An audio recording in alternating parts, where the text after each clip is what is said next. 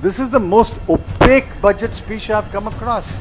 I think it's very unfair to the people of India.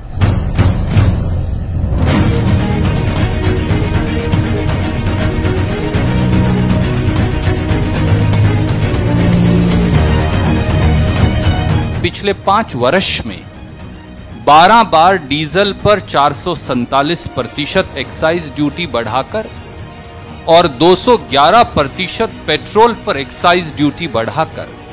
पाँच वर्ष में जनता की जेब से 13 लाख करोड़ पेट्रोल डीजल से मोदी सरकार 1.0 ने निकाले। और अब फिर दो रुपया पैंसठ पैसे का अतिरिक्त बोझ लाद कर आज जनता को लूटने की नई तैयारी शुरू कर दी है। We shall go back to basics on one count. Zero budget farming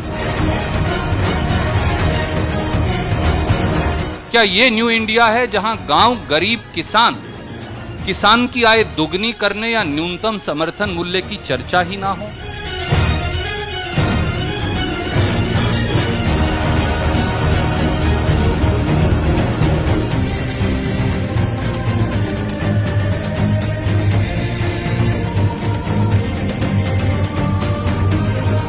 Defense has an immediate requirement of modernization and upgradation.